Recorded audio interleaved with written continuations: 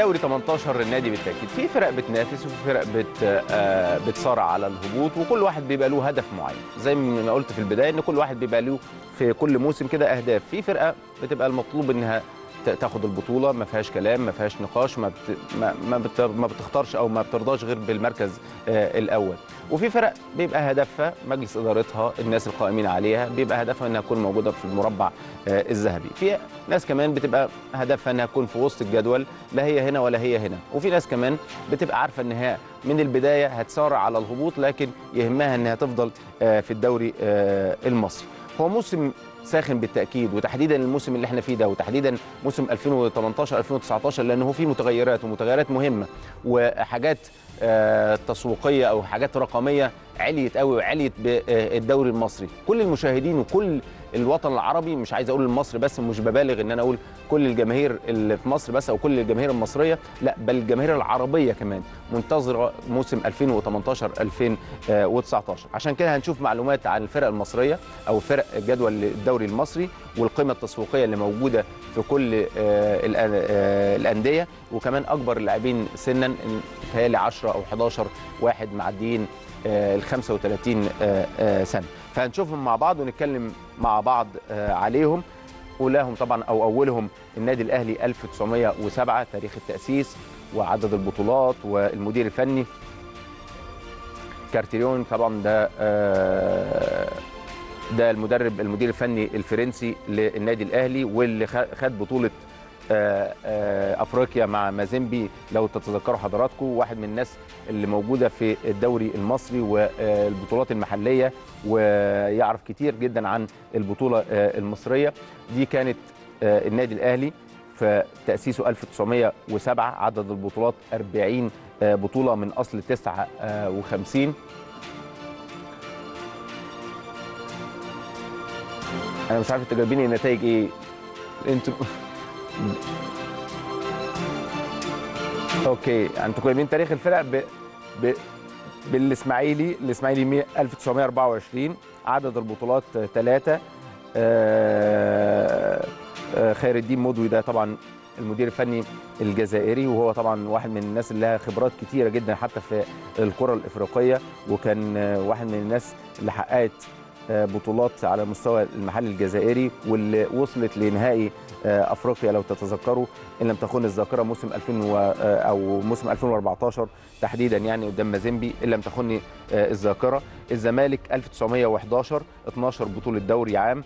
دروس هو طبعا المدير الفني لنادي الزمالك واللي هيخوض أولى مبارياته مع نادي الزمالك النهارده.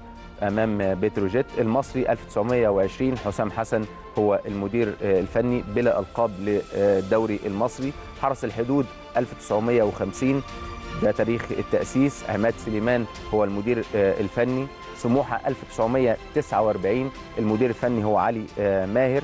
الجونة 2003 هشام عزمي هو المدير أو هشام زكريا آسف هو المدير الفني. الداخلية موسم 2005 المدير الفني هو علاء عبد العال. مصر المقاصة 1988 طلعت يوسف هو آه، المدير الفني. مصر المقاصة أعتقد إن 1998 مش عارف هل المعلومة صح ولا غلط. آه أوكي. كان اسمه هويدي مظبوط. وادي دجلة تاريخ التأسيس 2002 يونيس ده المدير الفني اليوناني لوادي دجلة المقاولين العرب 1973 والمدير الفني هو علاء آه، نبيل وعنده بطولة دوري. الاتحاد السكندري 1914 من أقدم الأندية وأعرق الأندية بالتأكيد ونادي محبب جدا جدا لكل الأهلاوية هو نادي الاتحاد السكندري. المدير الفني هو كابتن محمد عمر. انبي 1985 خالد متولي هو المدير آه، الفني. طلائع الجيش 1995 محمد حلمي هو المدير الفني. بتروجيت 1980 المدير الفني هو طارق آه، يحيى.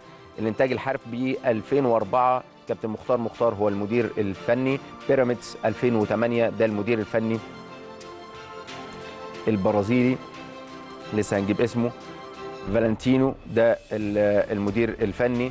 والاسيوطي سابقا بالتأكيد نجوم المستقبل تاريخ التأسيس 2006 ولحد دلوقتي ما تمش تعيين مدير فني وده من نوادر الدوري آه، المصري اللي ممكن ما تلاقوهاش غير عندنا هنا في مصر طبعا كان ماسكه كابتن محمد صلاح في البداية وبعدين مسكه كابتن ضياء السيد وبعدين كابتن عماد النحاس لمدة يوم واحد ولحد دلوقتي لم يستقروا على مدير فني والبطولة هتتلعب النهارده أو هتبدأ النهارده. أكبر اللاعبين سنا في الدوري المصري 45 سنة هو عمر عصام الحضري كواحد أو أكبر واحد لعب في تاريخ كرة في مصر لحد السن ده. ربنا يديله الصحة كابتن عصام الحضري في نادي الإسماعيلي. محمد عبد المنصف و41 سنة بيلعب في نادي وادي دجلة السنة دي. أحمد سعيد نجوم المستقبل 39 سنة.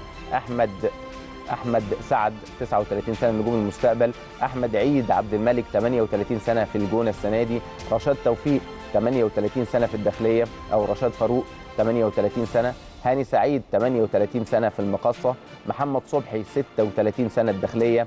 حمادة طلبي حمادة طلبة 36 سنة بيراميدز. ومحمود فتح الله 36 سنة في نجوم آه المستقبل.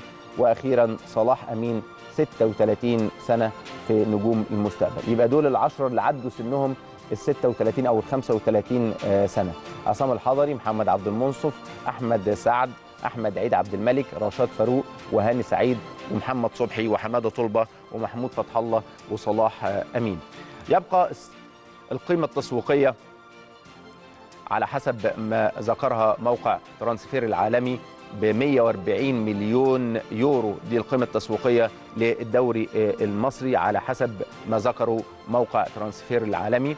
وأولهم يتصدرهم النادي الأهلي كقيمة تسويقية ب 24 مليون آه، يورو و8 من عشرة بيراميدز 23 و3 من عشرة الزمالك 22 و2 من عشرة الإسماعيلي 7 مليون و3 من عشرة المقصة 7 مليون و2 من عشرة والمصري 6 و4 من عشرة وأخيرا سموحة 6 مليون و1 من عشرة مليون آه، يورو. عايز أوضح حاجة بس مهمة جدا الناس تبقى فاهماها. هي القيمة التسويقية هي قيمة اللعيبة اللي موجودة مش القيمة المباع بيها آه، اللاعب.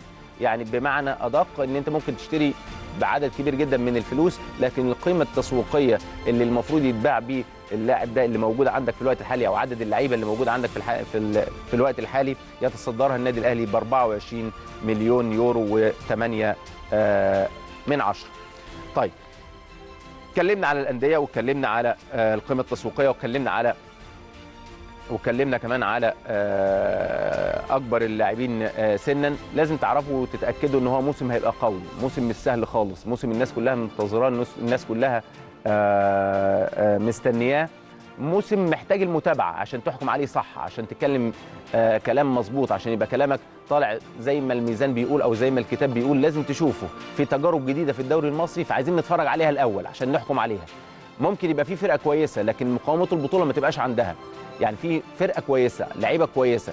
يعني آه، آه، كفرقة جماعية كويسة. لكن على مدار البطولة البطولة زي ما أنا قلت كده عدد من المباريات كتير بدوافع مختلفة بأيام مختلفة باستقرار مختلف آه، أو استقرار ثابت.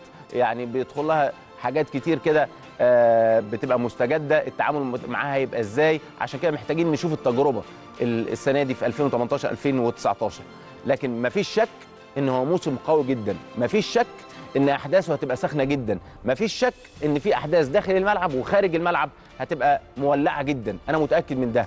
عشان كده بقول هنا في ملعب الأهلي وخلال تواجدنا هنرصد كل حاجة هنتكلم في كل حاجة هنقارن بكل حاجة بالصوت والصورة. وهنشوف المشهد هنا اتعاملنا إزاي والمشهد ده اتعاملنا إزاي والمشهد ده كان القرار إزاي والمشهد ده كان قرار إزاي. وربنا يجعل كلامنا خفيف على كابتن عصام عبد الفتاح.